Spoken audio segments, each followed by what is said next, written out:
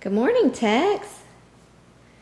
I'm going to talk to Tex about something that he hasn't heard about in probably at least six weeks. He's not heard anything about this. Hey, Tex, this weekend, you're going to spend the weekend with Bert and Leslie. Yeah, do you want to go to Bert and Leslie's? Back up, buddy. Do you want to? Do you want to go to Bert and Leslie's? Me about it. Tell me. Bert and Leslie's? Tell me. Tell me about Bert and Leslie. Do you like it? Oh, you do.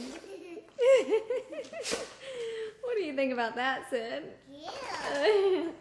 We're having a nutritious breakfast this summer morning, some Pop Tarts. That's why we love summer so much. Mommy lets us have crazy things. Bert and Leslie? Bert and Leslie. He's looking forward to coming to your house, guys. See you later.